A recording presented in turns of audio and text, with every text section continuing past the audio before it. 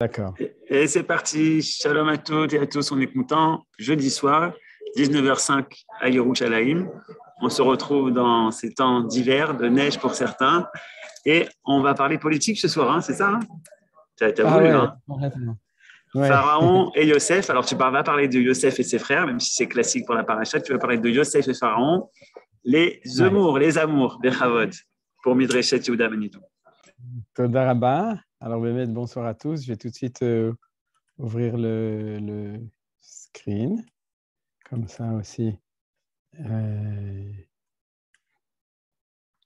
on pourra dire ce qu'il y a à dire. Tof. Alors, tout d'abord, euh, donc pour la refouach lema de Chava Evelyn Esther, Batrachel Sarabi, Mehmet, on pense beaucoup à elle. Euh, j'ai rajouté aussi la refoua chez Yaniv, Ben Aouva, Esther Mooded.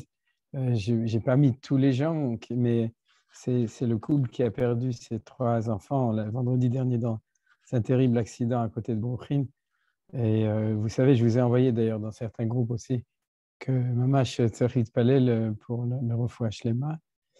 Et ensuite, le Ilou Nishmat Keren Batuela, comme toujours et Imi Morati, et puis aussi ma grand-mère, Elia Batara Menachem Zinger, qui a sa Askara, et mon, mon arrière-grand-père aussi, Yaakov, à Lévis Tider, cette semaine. Alors, s'il y a des gens qui veulent rajouter, ou vous envoyez par euh, le chat, ou bien vous le dites vous-même, et puis on est Mechaven aussi pour tout le monde. Tov. Alors, donc, euh, on va commencer à étudier notre paracha. Et euh, comme vous avez vu dans le titre, c'est de ça qu'on va parler. C'est-à-dire qu'on va parler de l'affaire Zemmour. Et euh, dans, l'étude de la paracha, bien entendu, hein, ce n'est pas un cours de politique de Sciences Po, c'est un cours de parachat Shavua selon Manitou, et on va voir combien euh, euh, Manitou était, on pourrait dire, avait une analyse qui, qui, nous, qui est pertinente même des années après qu'il soit, ne soit plus là. Alors donc,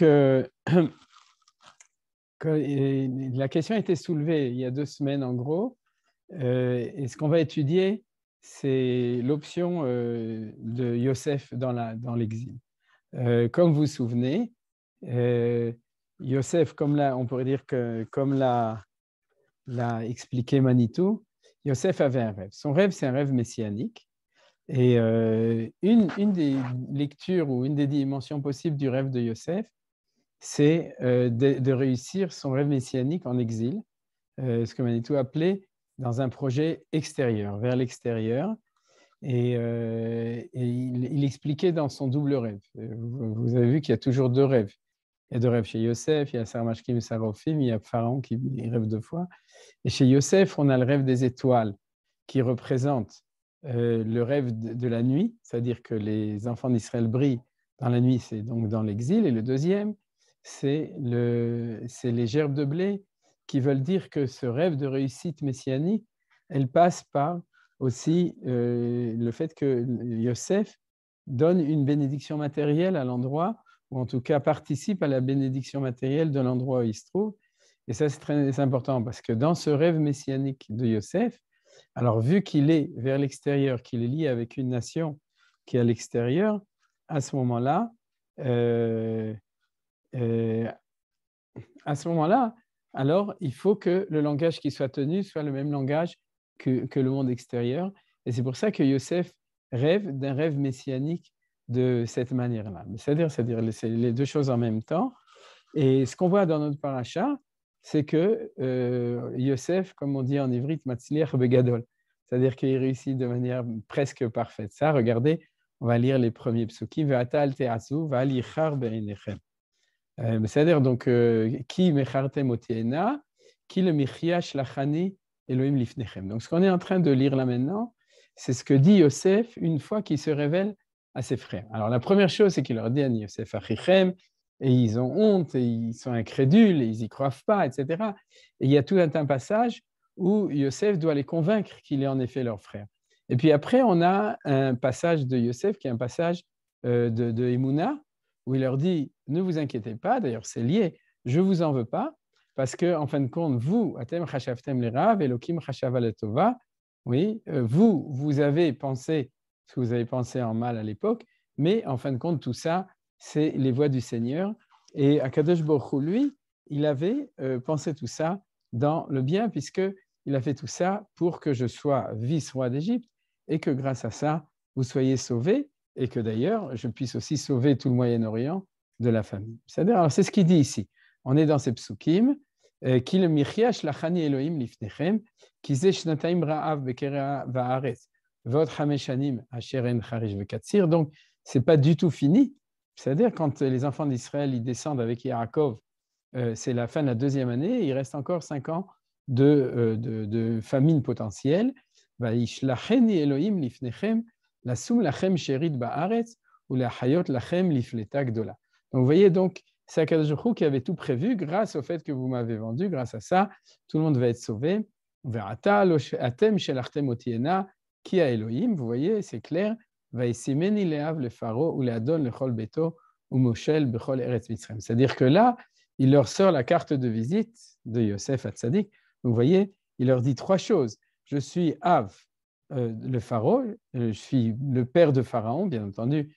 Av, c'est la traduction, c'est pas le père dans le sens euh, c'est dans le sens imagé, c'est-à-dire Rachidi, patron, euh, ou Adon, le Chol Beito, ou Moshel, Bechol Eretz Misrem. C'est trois, trois, trois éléments différents dans son, dans son curriculum vitae quand il présente sa carte qui montrent sa réussite magnifique. Maharu ve'alu el aviv ve'amartem elav ko amar vincha Yosef samani Elohim la'adon lechol Mitzrayim reda elai al ta'amod. Donc vous voyez, il continue, dites à mon père tout ce que, tout ce, tout, combien je suis réussi.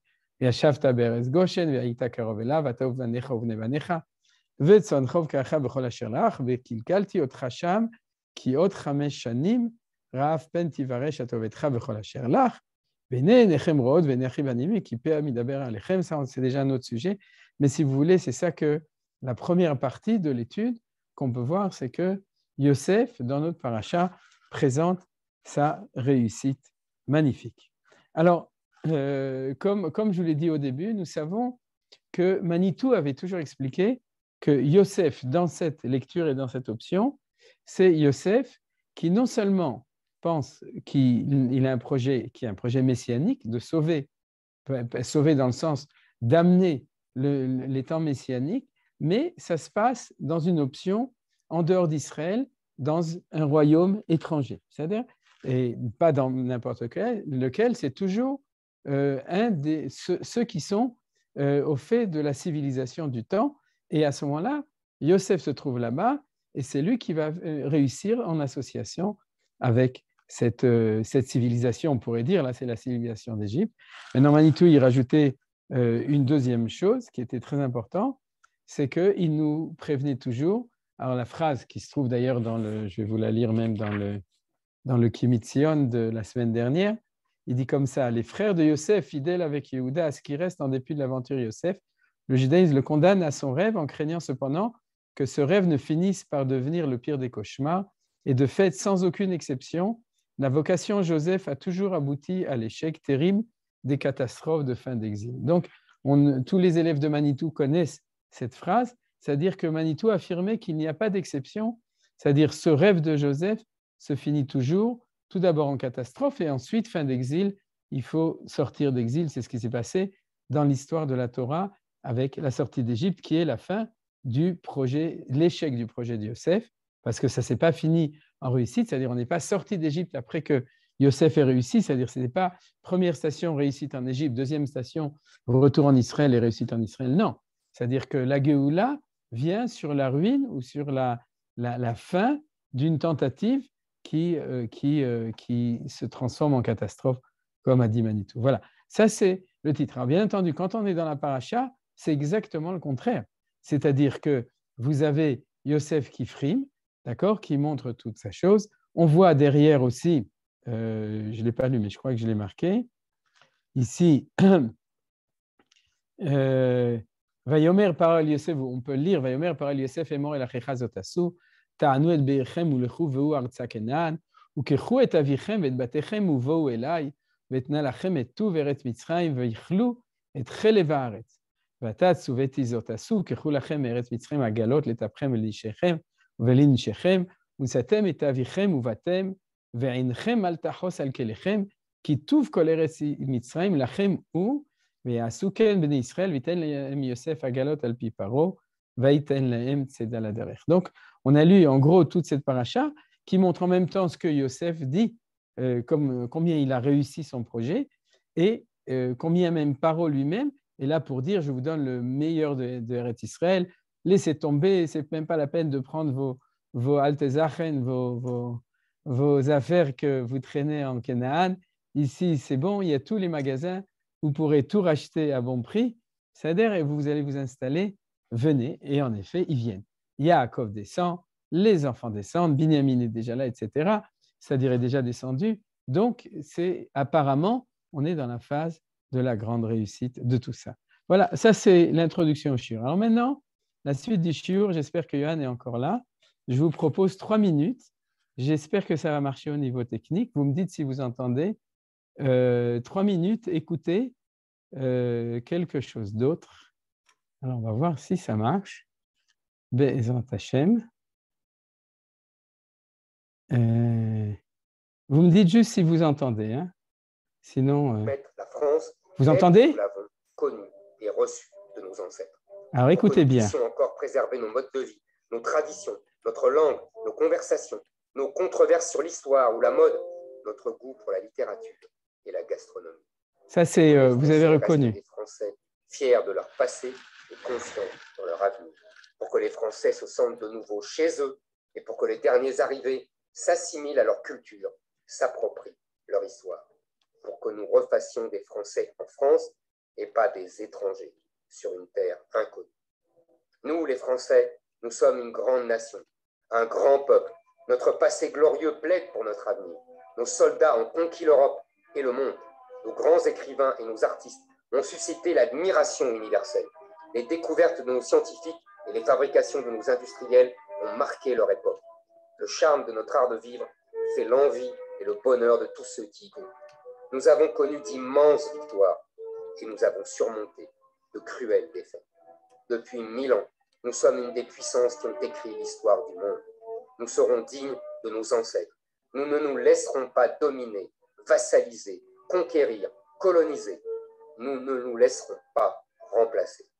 Face à nous se dressera un monstre froid et déterminé qui cherchera à nous salir. Ils vous diront que vous êtes raciste. Ils vous diront que vous êtes animé par des passions tristes, alors que c'est la plus belle des passions qui vous anime, la passion de la France. Ils vous diront le pire sur moi, mais je tiendrai bon. Les colibets et les crachats ne m'impressionneront pas. Je ne baisserai jamais la tête, car nous avons une mission à accomplir. Le peuple français était intimidé, tétanisé, endoctriné, culpabilisé. Mais il relève la tête, il fait tomber les masques, il dissipe les miasmes mensongers, il chasse ces mauvais bergers. Nous allons continuer la France. Nous allons poursuivre la belle et noble aventure française nous allons transmettre le flambeau aux prochaines générations. Aidez-moi, rejoignez-moi, dressez-vous. Nous, les Français, nous avons toujours triomphé de tout. Vive la République et surtout, vive la France. Voilà, vous avez entendu? C'est pas la peine d'applaudir. Euh, c'est le sujet du shiur d'aujourd'hui. Donc euh, aujourd'hui, on va euh, donc étudier ce discours de, de Éric Zemmour, qui était son discours où il a annoncé il y a quelques semaines, deux semaines, trois semaines, une semaine, je ne sais pas combien, dix jours, qu'il euh, est candidat pour être président de la République. Vous avez entendu? J'ai choisi exprès que trois minutes à la fin du discours, les trois dernières minutes. Et euh, je voudrais poser deux couchiottes essentielles au discours d'Éric Zemmour. Et bien entendu, L'essentiel, n'oubliez pas, on est en train d'étudier Parashat Shavua. C'est-à-dire qu'on n'est pas en train d'étudier Parashat Zemmour, on est en train d'étudier Parashat Shavua. Alors, si vous pourrez je, le, réécouter, à la limite, si ça vous intéresse, euh, j'imagine que vous avez bien fait attention. J'ai deux très grandes couchiottes à Eric Zemmour. La première, c'est sur lui-même. Euh, il parle de nous, euh, nous les Français, euh, tradition depuis mille ans, etc. Et euh, euh, il ne se rend pas compte que c'est un petit juif algérien Et il y a 150 ans, son grand-père était sans doute Melamed Pinocot dans le Mellah en Algérie. Il se promenait avec une djellabia. Et comment est-ce que Éric Zemmour a le toupet de dire nous, notre culture, la France, etc. Alors, j'ai une question à poser à Éric Zemmour lui-même sur cette chose-là, mais j'ai la deuxième question, c'est en fin de compte, c'est sur, euh, sur les Français. C'est-à-dire que je suis étonné. Comment est-ce que les Français ils, achètent ça C'est-à-dire comment est-ce que quand euh, Éric Zemmour parle de cette manière, il dit nous, et il se, il se met dedans, comment un vrai Français, un vrai Français de, de souche accepte que Zemmour se présente comme un, un Français de cette manière-là. Vous comprenez? C'est-à-dire il, prend sur lui euh, cette identité totale. Alors comme vous voyez, euh, on, est, on est dans une paracha tout à fait exceptionnelle. C'est-à-dire, il y a eu Léon Blum, euh, il y en a eu aussi dans d'autres pays, il y en a d'ailleurs même dans d'autres pays, mais je pense que la, question, la couchia que je demande, c'est comment est-ce que les goïms peuvent avaler cette chose-là, c'est-à-dire comment ça se passe et comment ça va se passer. Alors, bien entendu, vous imaginez bien qu'il y a des réponses politiques, des réponses sociologiques, et euh, les, journaux, et j'imagine aussi, etc., sont remplis, et vous aussi, vous avez sûrement entendu, vous avez des choses à dire dessus. Mais maintenant, je vais revenir à la paracha. C'est ça qui est important. Et puis, à partir de la paracha, on va étudier ce phénomène, euh, ce phénomène actuel. Alors, tout d'abord, euh, il faut comprendre. Qu'est-ce que c'est que le rêve de Yosef quand il se trouve en Égypte? On revient tout à fait à la paracha, on reviendra après à, à Zemo. Qu'est-ce que c'est que ce rêve de Yosef en Égypte? Alors, j'ai déjà expliqué, mais aujourd'hui, on va l'étudier plus que les fois que j'avais étudié avant. Euh, Manitou, dans, dans, ses livres, surtout dans Soda Ivry, on parle clairement de ce que je vous explique, et je vais donner deux références d'ailleurs euh, de cours de Manitou dessus. Il y a deux sphirotes, euh, qui sont les deux sphirotes les plus basses, qui sont Yosod et Malchut. Yosef, c'est la sphira de Yosod, et Malchut, c'est la sphira de Malchut du, royaume. Donc, euh, en fin de compte, Yosef, selon euh, le, secret des choses, et le Yosod, c'est la, la sphira qui, en fin de compte, euh, prend tout l'influx qui vient du ciel et qui cherche une Malchut pour pouvoir le mettre dedans. Dans, au niveau de la Kabbalah, maintenant on s'approche déjà de l'époque des Shovévim, ça correspond aussi au lien entre le côté masculin et le côté euh, féminin. C'est pour ça que chez les hommes, euh, on appelle ça tikkun yosod. C'est-à-dire, mais de manière générale, quand on parle de yosod et malchut au niveau, au niveau des, nations, c'est-à-dire Yosef étant celui qui euh, est capable, on pourrait dire, de fertiliser une malchut, une certaine malchut, cherche une malchut qu'il qui, qu'il pourra fertiliser. Alors, dans l'idéal, et cet idéal, Yosef ne le sait pas, pour l'instant. L'idéal du projet de Dieu, c'est que la Malchut soit la Malchut de Yehuda. C'est-à-dire, que Yehuda et la Malchut, Yosef et le Yosod, ils doivent s'unir ensemble pour réussir le projet messianique. C'est-à-dire, quand on parle de Mashiach ben Yosef, Mashiach ben Yehuda ou Mashiach ben David, selon la Kabbalah, on parle non pas de, de, rois qui sont équivalents, c'est-à-dire, c'est-à-dire qu'un roi et un vice-roi, ou comme on voit Mishneh le Melech, on ne parle pas du tout de ça, on parle de deux rois qui sont complémentaires dans la mesure où l'un, Yosef, c'est celui qui est euh, là pour donner l'influx, et la Malchut, elle est là pour le recevoir, pour être Mekabel, et réussir son projet donc d'État, son projet de nation, son projet de, royauté.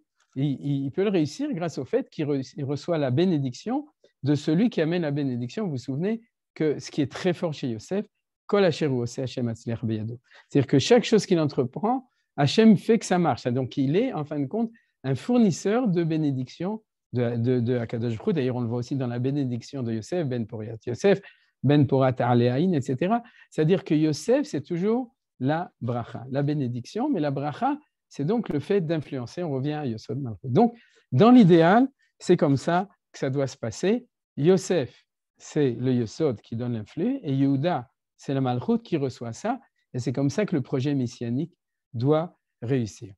Euh, Manitou, je vous cite deux, pour, pour, le besoin justement de mieux comprendre les choses, je vous cite deux enseignements de Manitou euh, qu'il a donné dans les cours sur Share Oram, mais que j'ai trouvé comme en remarque dans le livre de Sod, euh, Sod Midrash Atoladot, euh, tome numéro 7. Je peux vous donner les références au niveau des pages, page 374 et page 376. Manitou disait que quand vous savez qu'il y, a un secret du fait de être sommer Geoula Litfila, c'est-à-dire que quand on prie, on prie pour la Geoula, pour la, rédemption, tout le monde sait ce que c'est que la Geoula, et on doit euh, donc juxtaposer pour le réussir la bracha Baruch Hashem Gaal Israël, on avait étudié ça quand on avait étudié la Tfila, et ensuite Hashem Sefatay Tivtar, Baruch Hashem, c'est-à-dire le début de la, prière, c'est ce qu'on appelle le secret du, de la juxtaposition de la Geoula et la Tefila. Et euh, dans cet enseignement, euh, Manitou explique qu'on a ici complètement, euh, dans ce, dans ce secret-là, on parle du secret de l'unité, l'ismor geoula litfila, de l'unité entre Yehuda et Yosef, entre le Yesod et la Malchut. Et que c'est quand ces deux euh, s'unissent qu'à ce moment-là peut arriver la Géoula. Regardez, je l'ai imprimé dans le texte. Sur Israël, Kuma Bezrat Israël, vous voyez, c'est comme ça qu'on prie. Bon, il y a des petites différences entre les différentes communautés, mais en gros, c'est comme ça. Sur Israël, donc le rocher d'Israël, Kuma Bezrat Israël, lève-toi pour aider Israël, ou Fede Chinumecha, Yehuda ve Israël, et libère, selon ta parole, Yehuda ve Israël. Et quand on parle de Yehuda ve Israël, on parle de deux royaumes, le royaume de Juda et le royaume d'Israël, c'est-à-dire on parle de Yehuda et de Yosef. Venemar, Goalenu Hashem Tsevakot, Shemo Kedosh Israël, Baruch Hashem Gal Israël. C'est-à-dire on voit très bien que tous les jours dans la tfila, le matin quand on, commence la tfila, on dit que pour la Géoula soit possible, il faut cette unité, ce yichud entre Yosef et Yehuda, entre le Yesod et la Malchut. La, le, deuxième, euh, le deuxième enseignement de Manitou là-dessus, c'est qu'il il faisait remarquer que de notre temps, c'est, euh, si vous voulez, le, tikkun, c'est-à-dire que le, point à travailler essentiel, c'est celui-là. Parce que euh, vous savez que dans les sphirotes, on commence de tout en haut. Il fait remarquer que chez Chabad, alors on, s'occupe de réparer les trois sphirotes qui sont en haut, Chochma, Binavadat. Et puis dans d'autres traditions, etc., on parle que à chaque temps, il faut faire autre chose, il faut réparer autre chose. Mais il dit à la fin du sixième millénaire, n'oubliez pas, la sixième sphira, celle de Yesod, c'est la sixième qui est tout en bas. À la fin du sixième millénaire, la seule chose qui reste à faire, c'est s'occuper du Yichud Yesod Malchut, c'est-à-dire de réussir l'unité entre le Yesod et la royauté, donc entre, dans, dans, le projet réussi, dans le projet de Yesod Yosef et de Malchut et de Yehuda. Il faisait remarquer dans ce même texte que, euh, comme par hasard, le jour de Yom Yerushalayim, et ça on reviendra dessus si Dieu veut, on en a déjà parlé d'autres années, que le, vous savez que chaque jour dans Surat Omer, c'est une autre unification de deux, de deux, de deux.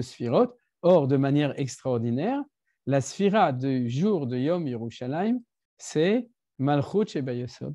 C'est la royauté dans le Yosod. Donc, on est encore dans le temps de Yosef, et c'est la Malchut qui se lie avec le Yosod. Vous voyez comme c'est extraordinaire, c'est-à-dire qu'il y a quelque chose de très logique dans tout ça. Euh, regardez, j'ai amené aussi une allusion très importante, et que, dont Manitou parle justement dans ce texte, c'est-à-dire que pour comprendre euh, l'identité de Yosef complète, il faut apprendre ce verset de, de Teilim dans le chapitre 81, verset 6, que nous disons euh, dans l'un des chants des Ayom Yom qu'on dit à la fin de la Tfila, bihi Yosef samo betseto aleret mitzrayim, sefat lo yadati eshma. C'est-à-dire, c'est-à-dire que lorsque Yosef est sorti sur la terre d'Égypte, à ce moment-là, on va, on va voir ce que ça veut dire Sfat Loedati et Shema.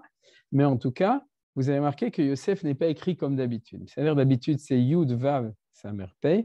Et ici, il est marqué Yehosef. C'est-à-dire, or, dans la Kabbalah, les sphirot jusqu'à Yesod correspondent au Yud, au Hei et au Vav.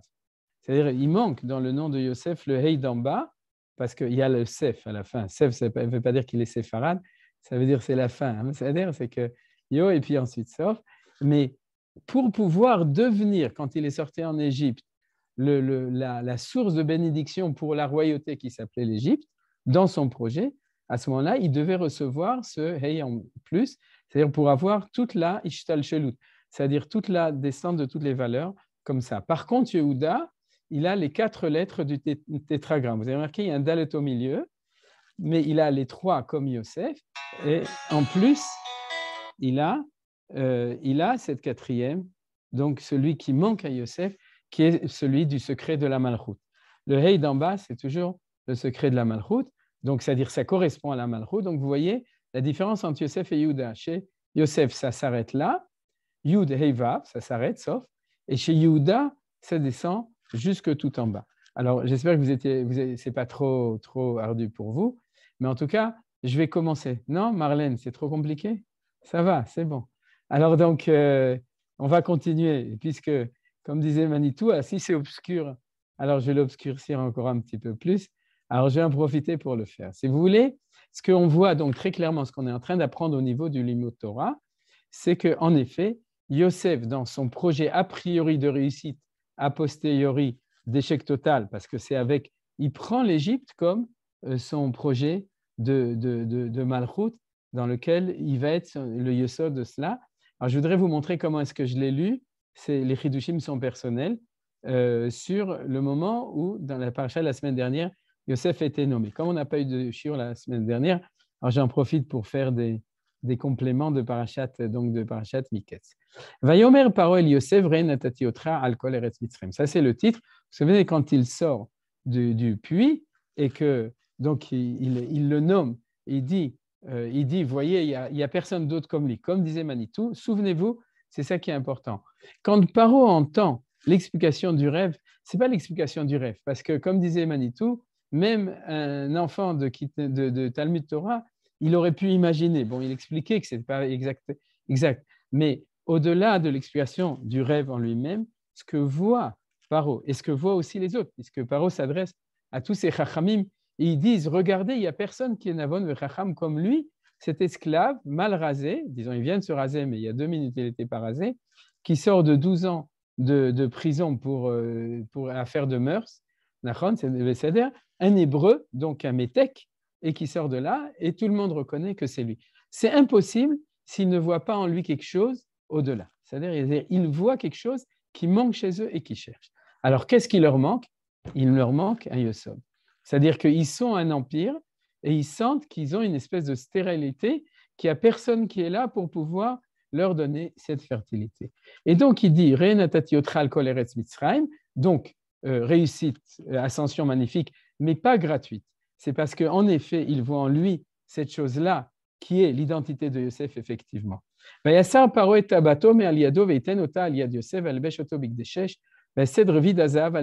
regardez comment je vous l'explique.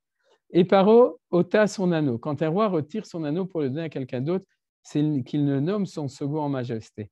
Mais tabato, si vous voulez, c'est euh, sa, bague. D'ailleurs, c'est pas par hasard que aussi on donne une bague au, moment du mariage, c'est Méanienne, d'accord C'est-à-dire le, mari qui est Yosod donne une bague à sa femme qui est Malchut, c'est-à-dire euh, au moment du mariage, et j'imagine que c'est lié, mais vous vous souvenez que Tabaat, c'est toujours euh, aussi rond, c'est-à-dire ça correspond à la réalité ici en bas, Teva, la nature. Vous savez, Teva, c'est la nature, et c'est-à-dire que la Malchut, c'est Tabaat. C'est-à-dire, euh, il y, a bien entendu encore plein d'explications de cela, mais au, niveau de Olamot Goulim, c'est-à-dire que les mondes du cercle, mais en tout cas, la Malchut, c'est toujours tabac, c'est-à-dire c'est ce qui iront.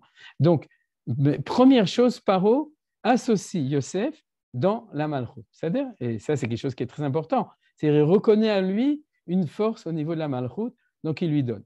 Et ensuite, qu'est-ce qu'il lui fait? Valbesh il l'a fait habiller Bon, Bissus, là, je ne sais pas ce que c'est du Bissus, mais Chèche dans. de, bon, on va marquer ce que nous, on sait. J'espère qu'on est. Ouais, du lin. Peut-être que c'est plus beau, Bissus. Je ne connais pas. C'est-à-dire, mais euh, vous savez, Chèche, c'est du lin. Mais dans la lecture, regardez, puisque la Malchut, c'est la septième sphira, c'est-à-dire qu'il lui donne la tabac, c'est-à-dire qu'il l'associe dans la septième, et ensuite il l'habille avec des habits de six, Chèche, six. C'est-à-dire qu'il reconnaît que Yosef est ces six sphirotes qui finissent par le sod. Parce que dans le secret, tous ces six sphirotes qu'on appelle les Vav Tzavot, correspondent à la même identité qui trouve sa terminaison dans le, dans Yosod. C'est-à-dire, le Yosod n'est que la fin de tout cela. Donc, vous voyez que dans la suite, d'abord, il lui donne un tabat, ensuite, il reconnaît en lui le fait que c'est lui qui doit recevoir les habits des six Azav. Regardez comment dit Rashi. On appelle en hébreu Revid parce qu'il est composé de chaînons assemblés entre eux, comme dans J'ai couvert mon lit d'ornement, assemblé en tapisserie Marvadim, ou dans la Mishnah entouré de rangées Rovadim de pierres, sur la rangée Rovet de pierres dans la cour du temple, à savoir le sol carrelé, ritzpa, de la même racine. C'est-à-dire Roved, on le voit dans la Mishnah, etc. Or, c'est quoi? On parle d'un collier. Quand on parle d'un collier, c'est qui reconnaît que toute la Ishtal Shelut, les chaînons, vous savez ce que la Ishtal Shelut C'est-à-dire toute la descente de, tout le bien que Dieu donne passe toujours par une Ishtal Shelut. Shalchelet, c'est un collier. Hein. c'est, le même mot, Ishtal Shelut Ishtal Shelut. C'est-à-dire que, qu'est-ce qu'il dit? Il dit comme ça. Tout d'abord, je te donne ma bague, donc tu es avec moi dans la malchoute. Ensuite, je reconnais qu'il y a les six sphirotes qui sont celles qui finissent. Et ensuite, je reconnais que tout vient de l'infini de Akadosh Baruch dans les Ishtal Shelut et c'est le revide. Et le revide, il se met sur son, cou. Or, le cou, euh, pour ceux qui lisent, c'est hein, vous connaissez, euh, dans Patach le cou, c'est le lien entre les trois sphirotes d'en haut et les sept sphirotes d'en bas. Donc, il, en fait, il dit, je reconnais que non seulement tu es le Yosod qui reçoit des six de, ces six, mais même avec le revide qui reçoit de tout en haut jusqu'en haut. Et si vous ne me croyez pas, c'est marqué dans le passage suivant.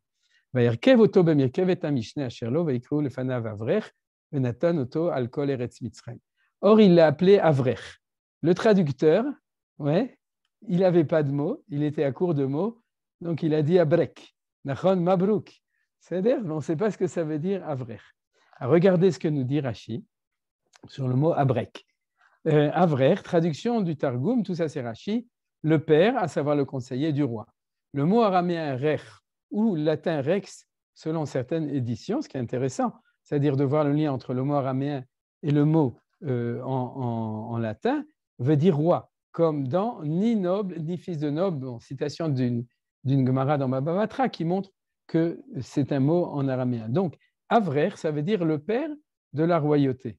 Dans le Midrash, euh, Rabbi Yehuda applique le mot Avrer à Yosef en ce qu'il était Av, père, en sagesse, et Rach en année. Or, Av en sagesse, c'est de nouveau la Kabbalah. Pourquoi? Parce que la, la Chochma, la sphira de Chochma, qui est celle qui est la plus haute de tous, vous vous souvenez, Chochma bin Avadat, s'appelle aussi Av, Abba. Donc, qu'est-ce qu'il lui dit? Il commence par la Tabat, il continue par les six autres, il met le revide avec le coup pour lier avec les trois d'en haut, et il dit, et toi, je sais que ton influx, il vient de la Chochma, euh, Chochma Yassad Barta. Dans la Kabbalah, c'est que la Chochma, elle nourrit la Malchut directement. Pas directement, mais c'est elle qui. Et euh, disons, au niveau de l'allusion, c'est ce qui est marqué dans ce pasuk. Euh, Vayomer parol Yosef ani paro viladecha yasim ish et yado et raglo bechol eret mitzrayim. Donc, euh, on descend dans la réalité d'un pouvoir de, puisqu'il reconnaît tout ça. Veikra paro shem Yosef tzofnat paraneach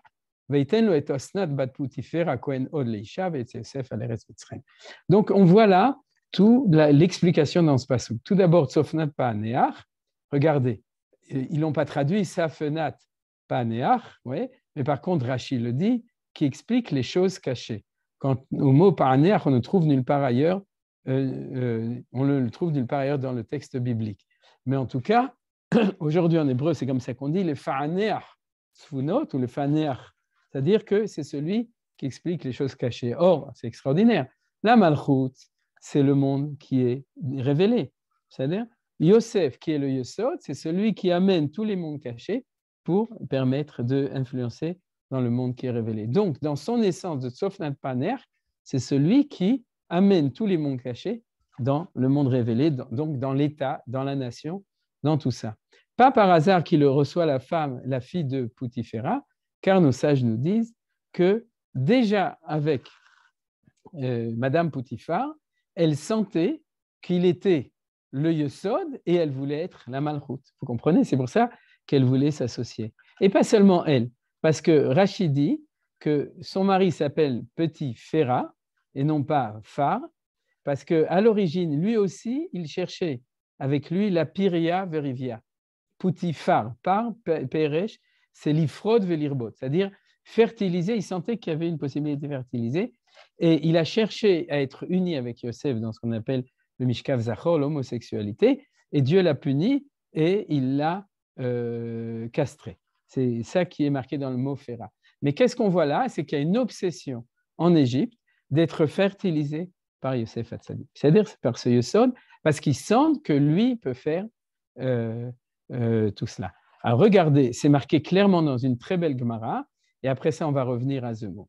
la Gemara qui, justement, est sur ce verset, le verset 44, Ani bilatéral yasim ish et yado et raglo bechol eretz misraim. Bécha, regardez, Bavli Sota, je le traduis en le lisant. Amar Rabbi Baraba, Amar Rabbi Yochanan. Donc Rabbi Baraba a dit au nom de Rabbi Yochanan. Bécha, lo parole Yosef. Lorsque Yosef a dit à Paro, et du coup je ne le traduis pas puisque c'est un pasouk, Donc le verset qu'on vient voir, Amru instandine Paro. Les, les chachamim de Paro ont dit. Un esclave qui était acheté à 20 shekels, tu vas le nommer sur nous. C'est-à-dire que c'est lui qui va devenir, non, non pas le vice-roi, mais le sur-roi, d'accord, de l'Égypte. C'est-à-dire, Amar Laen, parole répond, Malchut. Je vois qu'il a en lui Ginune Malchut, c'est-à-dire que ce lien avec la royauté. Amrulo Imken Yodea Beshivim Lashon. Si c'est ainsi, il doit parler 70 langues. Ba Gabriel Velimdo Shivim. Gabriel est venu et lui a appris 70 langues. Velo avec Agama et Yosef n'arrivait pas à apprendre. Il n'arrivait pas à assimiler, bien qu'il était jeune, assimile junior. Aussi Floot Achat Mishmo, chez la Kadosh Velamad, chez Nema. Qu'est-ce qu'il a fait à Kadosh Il lui a rajouté une lettre de son nom, ce Hey qu'on avait vu, et à ce moment-là, il a réussi à apprendre les 70 langues. Comme il est marqué, bi Yosef Samo, Maintenant, on peut comprendre la fin du pasuk, c'est-à-dire que lorsque euh, lorsqu'il est sorti sur le pays d'Égypte, Akadosh lui a rajouté ce hey en plus, c'est-à-dire ce hey qu'il n'avait pas au début, et grâce à ce hey, alors il pouvait apprendre les langues. Vous avez très bien compris. Ces 70 langues, c'est tous les potentiels de Malchut que Yosef veut toujours fertiliser. Il y en a 70. Et si Yosef veut être accepté en Égypte, alors que c'est la civilisation du temps, il faut qu'il ait en potentiel la capacité de fertiliser toutes les royautés, ce que Yosef a essayé dans toute l'histoire de l'humanité, de pouvoir le fertiliser. Et pour cela, il faut que son influx soit parfait. Il lui manquait ce Hey qui bloquait entre le Yud et le Vav, donc ça descendait pas complètement. Akadosh Baruch lui a rajouté le Hey. Depuis le Yud, Chochma, Av tout le Shefa descend jusqu'au Vav, qui est le Yosod de Yosef, et à ce moment-là, il arrive à apprendre les 70 langues, c'est-à-dire qu'il arrive à fertiliser en potentiel toutes les royautés de l'histoire et du monde, et à ce moment-là, il est accepté par les Itztaglin et Paro comme euh, Melech Bemitzrayim. Vous avez compris, comme, comme vice-roi. Donc tout ça, c'était pour étudier la paracha. Maintenant, euh, euh, d'ailleurs, voilà, c'est ce que je voulais dire, c'est que d'une certaine manière, c'est marqué aussi clairement ici. Lorsqu'il se présente dans sa carte d'identité, vous vous souvenez, vis-à-vis de ses frères, il dit comme ça, c'est le Hav, le paro, le Hav, on avait, c'est tout en haut, ou le Adon, le Chol Beito, je me permets de dire que le Adon, c'est les six valeurs qui s'appellent Zeranpin, c'est-à-dire celle, ou Moshel Bechol Eretz Mitzrayim, Moshel, c'est la royauté, c'est celui qui dirige. C'est-à-dire que lui-même, quand il dit à son père, allez lui dire, allez dire à papa qu'il y a tout, tout ça qui est chez moi. Maintenant, on revient à Eric Zemmour, il nous reste un quart d'heure. Et euh, d'ailleurs, on peut arrêter le, le, Du coup, on peut, on peut ouvrir. comme ça, je vois, je vois des gens que je ne voyais pas tout à l'heure, Zioter Nerman. Et, euh, et, donc, maintenant, revenons au phénomène de Eric Zemmour. Eric Zemmour, j'ai posé deux couches. J'ai posé deux questions sur le fait qu'il dit nous, nous, nous, la France. Et comment est-ce que lui, il peut gober ça? Et comment les vrais goïms de France ils vont gober un truc comme ça? Eh bien, c'est d'abord, il y a le bon roi d'Agobé qui va, l'accepter, euh, mais, euh, mais, mais euh, pour, pour, comprendre ça, il faut reprendre ce qu'on a appris aujourd'hui. C'est-à-dire qu'en fin de compte, ce qui se passe, c'est comme ça. C'est que chaque civilisation a des, temps, et chaque malchoute a des temps de crise où il a un problème identitaire, où il n'arrive pas à expliquer exactement quelle est son identité. Et lorsqu'arrive un juif qui va lui donner sa définition identitaire. Alors, bien entendu, lui, ce juif, il se sent complètement lié. C'est ce qu'on appelle le secret de Klipataram. Vous vous souvenez chez, euh, chez, euh, chez Avram Avinu. Et tout d'abord chez Terrar, qui était, comme disait toujours Manitou, il ne vendait pas des idoles, il vendait des idéaux. C'est-à-dire, or, euh, en ce moment, pour la France, exactement la même chose. Elle est en recherche, je vais tout, de suite expliquer pourquoi, elle est en désarroi de, de, de, trouver son, son, son, définition identitaire. Et il arrive un juif qui est là et qui a en lui euh, cette, cette, comment s'appelle, cette, possible, cette capacité. Il a réussi à le faire, expliquer aux Français qui ils sont. C'est-à-dire qu'en fin de compte, il est ce Yosod. Et à ce moment-là, il a ce même rêve que Yosef.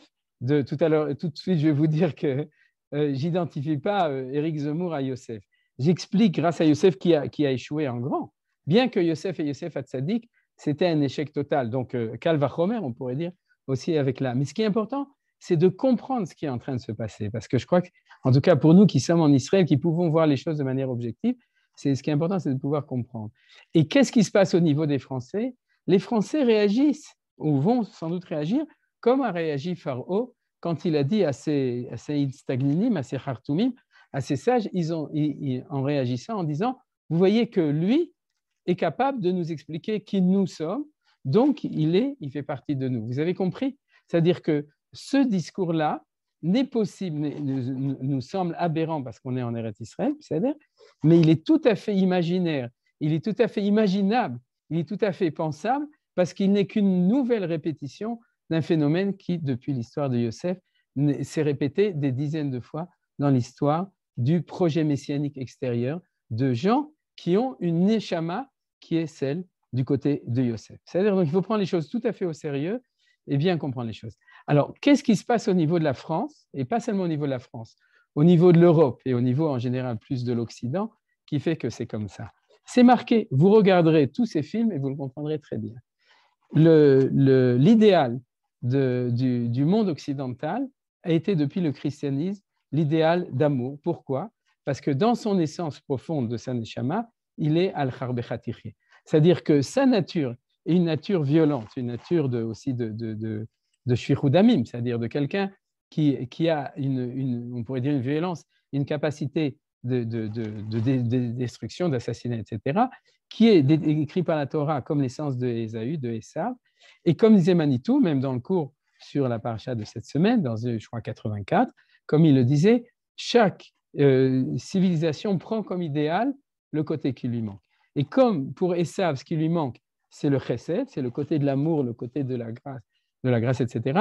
Il a tout d'abord pris comme religion la religion de l'amour. Maintenant, euh, à partir de la Renaissance, quand euh, le monde occidental prend acte qu'il n'a pas réussi à être métaken et c'est-à-dire se corriger euh, avec le christianisme en tant que religion de l'amour, parce que pour toutes les raisons que vous connaissez, à ce moment-là, il y a une nouvelle option qui est celle de l'humanisme, c'est-à-dire que d'essayer la même chose, mais sans la religion. J'ai déjà expliqué aussi plusieurs fois. Et qu'est-ce qui s'est passé? En fait, le XXe siècle, et ça c'est Manitou qui, l'explique de manière très claire dans son Mahamar sur la Shoah, ce qui nous lie d'ailleurs avec Asara Betevet, qui va être la semaine prochaine, c'est que avec de, de, tout le temps, le monde occidental a conscience de sa non-réussite au niveau en tant que société, pas en tant qu'individu. Il y a des tzadikés ou motaolam, des justes partout. Mais en tant que société, il ne réussit pas à, euh, grâce, grâce à cette idéologie, cette idole, que, que soit le christianisme et ensuite l'humanisme, c'est-à-dire après la Renaissance, il ne réussit pas. Et le grand échec, c'est le XXe siècle. Le XXe siècle, c'est d'abord de guerre mondiale dans lequel ils se sont eux-mêmes entretués.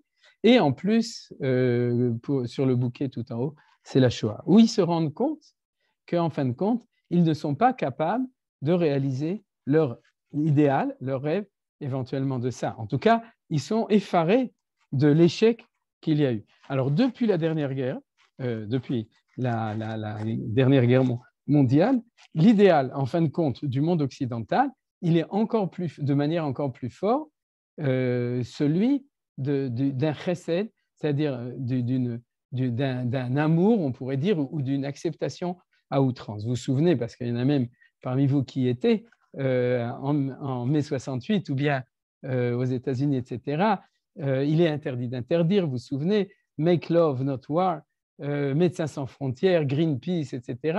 C'est-à-dire tout ça, tous les mouvements dans le monde occidental qui sont là pour expliquer que euh, ce qu'on appelle Tshuvata Mishkal, c'est-à-dire que pour faire Teshuva de l'horreur de leur même propre nature, il faut absolument prendre l'extrême de l'autre côté, qui est celui d'un amour inconditionnel, d'une acceptation inconditionnelle de l'autre, de la différence de l'autre, qu'il soit homo, qu'il soit noir, qu'il soit, euh, soit tout ce que vous voulez. On doit, tout le monde doit s'aimer, tout le monde doit s'accepter, etc. Vous comprenez, vous savez euh, ce qui, dans, le monde dans lequel on vit. Mais tout ça, c'est dans une vision extrêmement grande. Il ne faut pas le regarder de manière ponctuelle. Il faut le regarder dans cette vision de 2000 ans de civilisation qui, en fin de compte, sont aujourd'hui là. Or, aujourd'hui, le monde, euh, l'Europe, de manière plus précise, se trouve dans un grave planter. Quel est le planter? Planter, vous savez, en hébreu, c'est-à-dire dans, une, impasse. Quelle est l'impasse? C'est que Akadosh Baruch très sympa avec eux, il leur a envoyé en face des gens qui ne comprennent pas ce langage.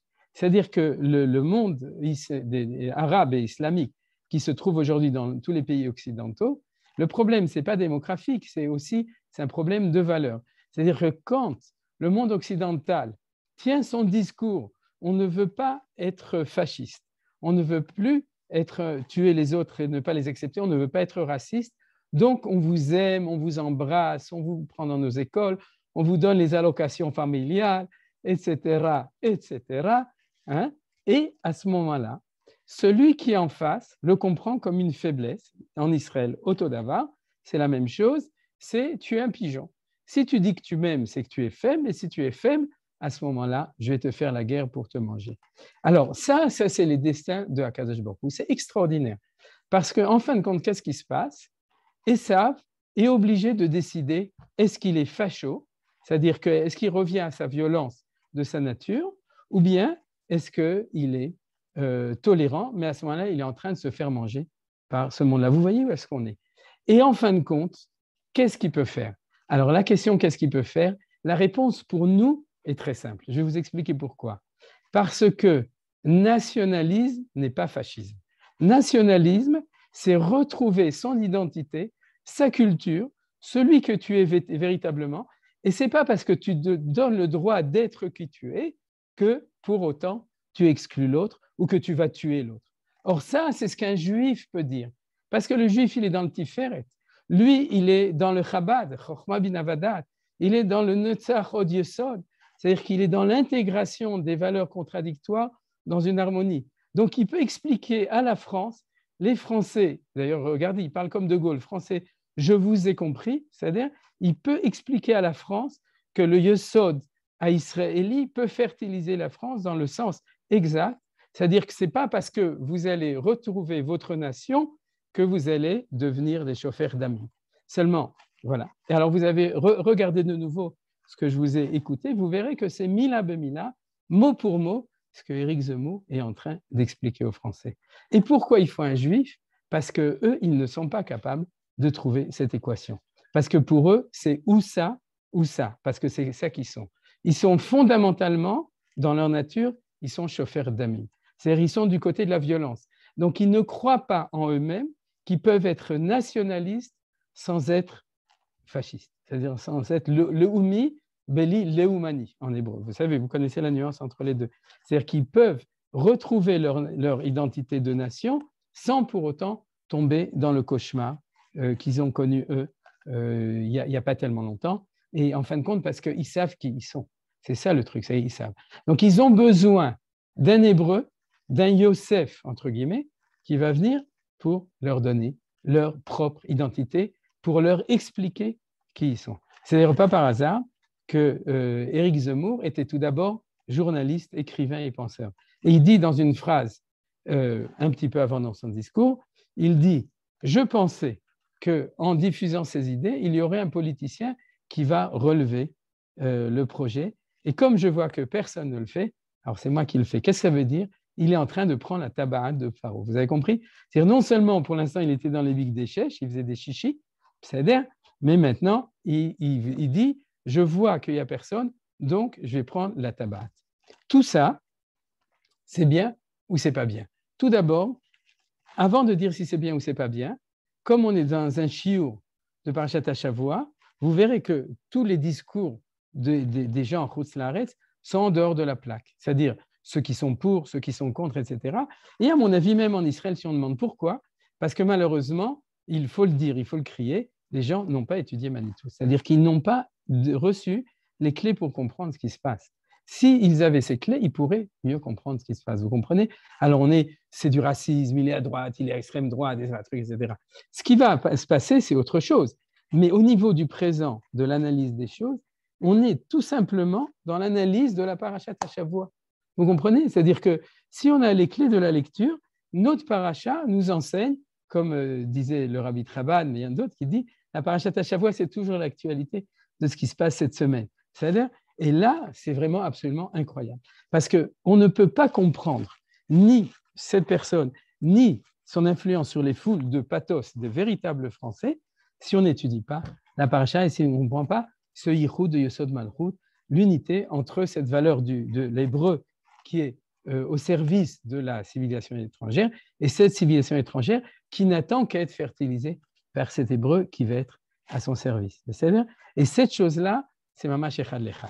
Alors maintenant, pour terminer, parce qu'il ne nous reste plus beaucoup de temps, euh, si, si on se demande est-ce que c'est bon pour les Juifs ou c'est pas bon pour les Juifs, alors tout d'abord, je vais donner trois points, mais le débat reste ouvert. Le premier point, c'est comme disait Manitou, quand Yosef appelle ses frères, il lui dit Regardez que je suis Mahoul, c'est-à-dire que je suis circoncis, que je suis marié, marié avec Osnat Kedina Bat, euh, Batlea, c'est-à-dire je suis marié avec, euh, avec, une, avec ma nièce qui est, qui est hébreu, je ne suis pas assimilé, c'est-à-dire, et, et, que je parle de la Shana Kodesh, c'est-à-dire il parle son langage naturel, et il disait tous les Joseph de l'histoire, la plupart n'ont pas été tzaddik. C'est-à-dire que c'est pour ça que Yosef s'appelle Yosef Hatzadik. On ne dit pas Avraham Hatzadik, Yitzhak Hatzadik, Yaakov Hatzadik, Moshe Hatzadik. On dit que, euh, euh, que, que Yosef Hatzadik. Et pourquoi au Shimon Hatzadik, c'est encore une autre histoire. Mais on dit Yosef Hatzadik parce que Yosef est l'aventure la plus dangereuse et où on risque le plus de tomber dans la richoute, c'est-à-dire d'être habillé comme un Égyptien, de parler en égyptien d'être marié avec une femme qui s'appelle Asnat et non pas euh, qui, est, un, nom égyptien, etc., et de disparaître dans l'assimilation, d'être pris par la femme de Poutifar, c'est-à-dire ou par, la civilisation égyptienne. Et de ce point de vue-là, c'est évident que actuellement euh, cette option Zemmour, c'est pas Yosef Hatzadik. C'est-à-dire c'est Yosef dans cette analyse d'identité, mais c'est ça. En tout cas, ça, ça me semble évident. C'est-à-dire, je veux rien dire sur lui, je le connais pas. La deuxième chose, et ça c'est le plus grave, c'est ce que dit Manitou, c'est qu'il n'y a pas d'exception sur le fait que ça finit en catastrophe. Et la catastrophe, c'est que ça va finir par se retourner contre les Juifs eux-mêmes qui sont Rousslaret. Donc il y a sans doute de quoi s'inquiéter, puisque si Manitou disait sans aucune exception, vous voyez, je vous les lis, et, apparemment, euh, même si on ne le voit pas, euh, il faut l'entrevoir, puisque c'est une loi, donc il y a de quoi s'inquiéter le troisième point, qui est à mon avis un point qui est très très bien, qui est magnifique, mais pour ça, il faut être euh, Betorat Eretz Israël ou assis en Israël, ou en tout cas en écoutant la Torah d'Eretz Israël pour le comprendre, c'est que il y a, si vous voulez, au niveau de la France, moi, si j'étais français, je trouve qu'il a raison. C'est-à-dire que de ramener à la France son identité nationale, nous, on en a besoin. Parce que le jour où on aura besoin des 70 langues pour les ramener à être noachides, il faut tout d'abord qu'ils soient français. Il faut qu'ils aient leur valeur identitaire spécifique pour pouvoir ensuite retrouver notre Dieu en tant que français. Donc, en fin de compte, c'est très important, on est très content. Mais il y a un deuxième point, c'est que ça oblige les Juifs de France à décider non pas quelle est leur religion, mais quelle est leur nation. Et ça, c'est un point qui est extraordinaire. Avant que l'État d'Israël n'existait, c'était la catastrophe absolue. C'est l'histoire de tous les faux messies de Joseph, des options Joseph tant que l'État d'Israël n'existait pas. Mais l'État d'Israël, c'est Yosod Malchut de Yehuda et de Yosef, vous avez compris? Lui, en fin de compte, c'est un pantin, puisque, sans doute c'est pour ça qu'il a fait à Villepinte, il est allé à Pantin pour faire son discours, mais ce que je veux dire, c'est un pantin, c'est peut-être quelqu'un de très bien, très intelligent, hein, mais c'est-à-dire que c'est il singe une préhistoire qui a disparu. Depuis 1948, ce projet non seulement est dangereux et mène à catastrophe, mais il n'a plus de sens. Vous comprenez? C'est-à-dire, c'est un Yosef qui joue à être Yosso devant une malchoute, alors que Slicha, si vraiment tu es doué, fais ton alia et aide-nous ici en Israël à être du côté Yosef, avec même Shelet Israël, Medinat Israël, pour donner ta fertilité et ton intelligence dans le Yosso de Malchut de la Géoula, comme on l'a vu au début du cours, qui est celui de Ufede Chinumecha, Yehuda Israël. Et, et puisque l'État d'Israël existe, les Juifs de Galout sont obligés de commencer à réfléchir, non pas est-ce que je suis religieux ou pas religieux, mais est-ce que mon identité nationale, c'est celle de la France ou mon c'est pas la première fois, ça fait depuis depuis 1789 que les Juifs sont appelés à ça. Mais aujourd'hui, ils ont une alternative et je pourrais dire que la, la définition ou l'expression exprimée par lui de manière très claire. C'est-à-dire, on ne peut plus noyer le poisson comme avec les autres d'avant, c'est Besséder, tout le monde est beau, tout le monde est gentil, vous êtes arabe, vous êtes juif, on vous aime bien, on vous accepte, etc. Il va falloir décider, Alanu Ataim est-ce que ta nation, c'est la place de la nation, ou est-ce que ta nation, c'est euh, le Harabait, c'est-à-dire c'est la place, l'esplanade du temps. Et euh, je voudrais euh, terminer, je vais quand même ouvrir de nouveau le screen pour montrer un point qui est un tout petit point qui est intéressant dans le texte de, de quand Yosef parle à ses frères, c'est que il dit comme ça Maharu ve'alu el aviv ve'amartem elav ko amar bincha Yosef samani Elohim la'adon lechol mitzrayim reda elai al ta'amod. Rachid nous dit et montez vers mon père, Eretz Israël est plus élevé que tous les pays qui l'entourent. C'est pour ça qu'on est Olim, on est tous désolés, on a fait notre alia, et, euh, et euh, parce que ce pays. Pour autant que je sache, c'est la première fois, et peut-être la non, je crois qu'il y a un autre endroit chez les Meraglim où Rashi le fait. Alors qu'il y a plein de fois marqué Aliyah, Aliyah, mais c'est la première fois. Pourquoi? Pour nous dire que même si Yosef avait ce projet, à l'intérieur de lui, il savait très bien que euh, l'Égypte, c'est l'Égypte, et que Israël, c'est Israël, et Israël, c'est en haut. Et c'est pour ça aussi que quand il dit à son père, viens ici, il lui dit pas viens, il dit Reda Elai Alta Amon. C'est-à-dire qu'il dit, je sais très bien que Israël Mikola Aratzot et que le véritable projet, c'est Yosef et Yehuda. Je le sais, mais j'y suis pas pour l'instant. Je tente autre chose, j'essaye autre chose. Mais il le sait. Et ça, c'est un signe qu'il y a même un espoir, même dans ces choses-là. Regardez comment est-ce que Paro y parle, par contre.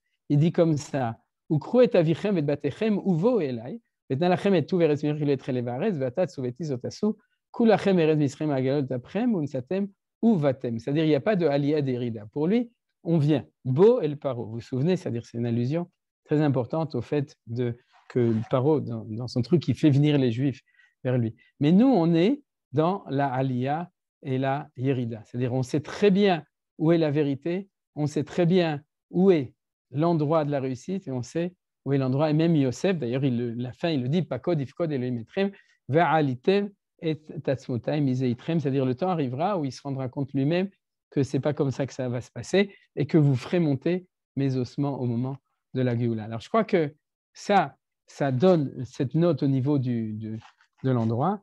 Et pour terminer, bien entendu, ce qui est très important, c'est que euh, Baruch Hashem, aujourd'hui, euh, comme, comme avait dit Manitou, la question, ce n'est pas quelle est la bonne solution, la question c'est toujours dans quel temps on se trouve. C'est justement dans ce texte de, de où il le dit, est-ce qu'on est dans le temps de Yosef qui fait descendre les Juifs ou dans le temps de Moshe Rabbeinu qui, fait, qui enlève cet habit d'Égyptien de lui et qui décide de décrocher et de ramener les Juifs dans leur pays? Or, Baruch Hashem, ça fait déjà longtemps qu'on a fini d'être dans l'histoire de Yosef.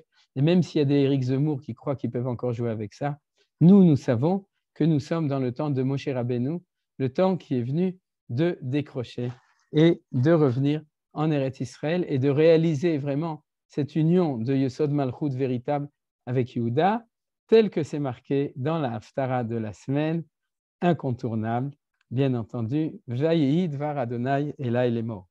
Vata ben Adam, kach lecha etzechad, uchtov alav liYehuda velevne Israël haverav. C'est l'Haftara de la semaine.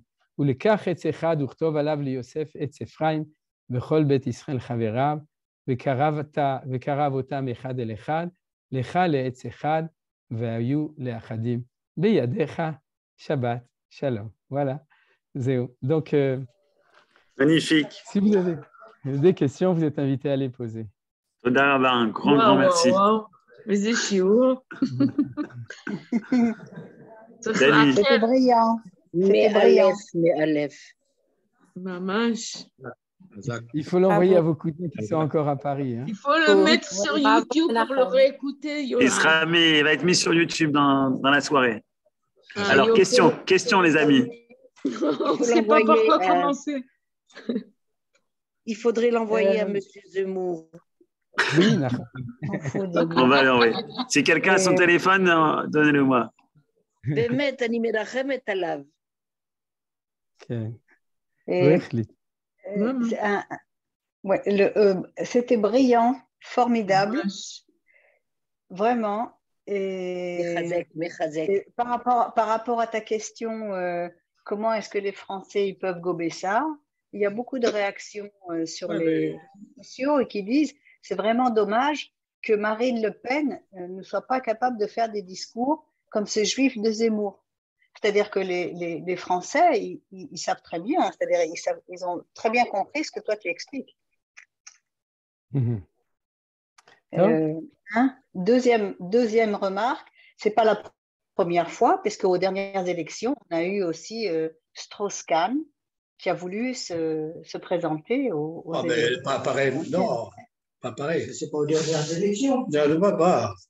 Pas vrai. Ah, Non, c'est pas, pour les mêmes, c'est pas, pas pour les mêmes raisons politiques. Non, mais- non, non, ça n'a rien à voir.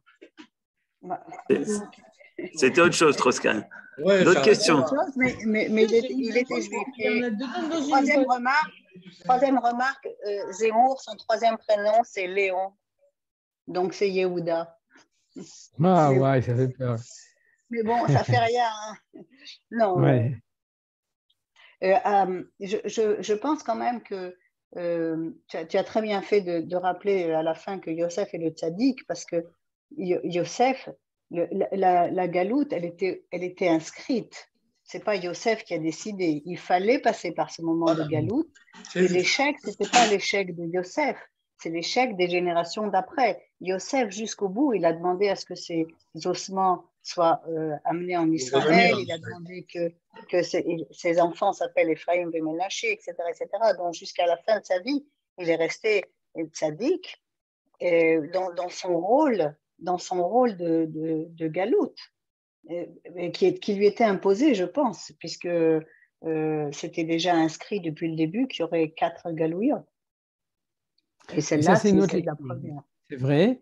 C'est-à-dire que c'est le, Midrash qui dit Yaakov de Shelot chez le Barzel. C'est-à-dire que normalement, si c'était passé sans Yosef, alors Yaakov serait descendu en Égypte, euh, en- enchaîné avec des. etc. Donc dans, la difficulté, et que Yosef, il a permis. Mais euh, malgré tout, je, reviens, c'est la lecture de Manitou, et c'est pour ça que Manitou, c'est un chidouche, c'est qu'il il, il maintient le fait que Yosef rêve quand même de réussir un certain projet en Égypte, c'est-à-dire pas de descendre pour faire la galoute, mais pour lui, ça, c'est le, plan de Dieu. C'est-à-dire ce qu'on avait vu, Veishlachem et Mekrevron, c'est-à-dire que pour, pour Dieu, lorsque ça commence, ça commence par l'annonce qui avait été a- fait à Abraham des 400 ans d'e- d'e- d'esclavage en Égypte. Mais ce n'est pas la vision de Yosef. Il faut aussi reprendre toujours ce qu'on étudie à, à Pessah du Parech. Vous vous souvenez, c'est-à-dire que ça a toujours commencé en idylle et que ça a fini en catastrophe. Et, et en fait, Yosef, c'est la croyance que ça peut être idyllique. C'est-à-dire, et donc, c'est dangereux. C'est ce que disait Manitou. C'est la raison pour laquelle ses frères l'avaient condamné. C'est Léon Blum. Léon Blum aussi, c'était pareil. Il s'appelait aussi sauf- Léon Yehuda. Ouais, en plus. Ah là là, ça va pas ça. Donc, lui, il était ashkénaze et lui, il est algérien. C'est bien, on passe de génération. Et Manitou, il était Léon Ashkenazi. Voilà. Il avait tout. Autre question dans, dans, dans le parallèle que tu fais euh, avec Zemmour euh, et Yosef, euh, il y a des choses communes. Par exemple, dans les décrets de Lahir. Alors, on, on, on- arrête l'immigration. Mais entre-temps, il a, il a Youssef, il a quand même organisé toute la société égyptienne sur place. Et peut-être qu'il y, avait, il y aurait peut-être une autre manière de faire les choses qui serait plus, entre guillemets, politiquement correcte. Mhm. Tu veux dire, euh, il y aurait une autre manière de faire les choses? Je ne sais pas, euh, Youssef, il a travaillé avec ce qu'il y avait sur le terrain, il avait le pouvoir. Mais il dit, bon, maintenant, on commence par... euh, D'abord, il n'y a plus personne qui rentre, on arrête l'immigration. Et puis, euh, Mhm. comment il traite les gens qui sont sur place aujourd'hui? Alors, le transfert de population, euh, comme l'a fait Youssef, etc. Mais entre-temps, il y a des dommages collatéraux. C'est clair que les juifs euh, français et les juifs en général, ils vont en prendre plein, plein la tarte, quoi. Ouais, le problème, combien de temps ça va prendre? Et puis bon, il y a le chesed qu'il y a l'État d'Israël, il ne faut pas oublier. C'est-à-dire que euh, c'est que il y a déjà, on est déjà dans un autre temps. C'est que c'est comme si euh, il était anachronique, vous comprenez? Alors que Yosef n'était pas anachronique en son temps. Seder ainsi que les autres. Mais Seder, quelqu'un veut dire quelque chose? Bonjour. Ah, Alex, salut, ça fait longtemps que je ne t'avais pas vu. Comment ça va? Bon. Je voulais vous poser une question. Je ne comprends pas qu'au final, alors on commence avec Vayeshev, avec une, une guerre entre, entre les frères Yehuda qui est persuadé qu'il faut rester euh, en, en Israël. Il descend par dépit, mais après la famine, il ne, il ne cherche pas à remonter. Il reste là-bas, Vayeshevu, Va- Va- Va- Vayachezu, ils sont là-bas. euh, Yosef, il fait tchouva lui à la fin, et puis Yehuda, euh, ça, va de, ça, va, ça va de mal en pis, quoi. C'est... Bon, ça c'est un peu lié avec la remarque qu'a fait Dani, et c'est un peu plus le sujet de la semaine prochaine. Je ne sais pas si on, a- on, va en parler, on en a parlé l'année dernière, si mes souvenirs sont bons. C'est-à-dire que c'est le problème de, de l'installation. Mais en fait, c'est lié avec Yosef. C'est-à-dire que c'est Yosef qui installe. Il installe en effet dans la paracha Yehuda, il crée son ghetto juif pour, pour que tout soit bien. Oui, il y a le Pletzel et puis la boucherie cachère et la yeshiva et tout. Mais, euh, mais, mais malgré tout, c'est quand même à cause et grâce à Yosef que les Juifs s'installent tellement bien dans cet exil en croyant que ça va marcher. Donc, euh, donc euh, ça, c'est un point qui est, qui est, qui est, qui est important. Est-ce qu'il y a encore quelque chose Nadine.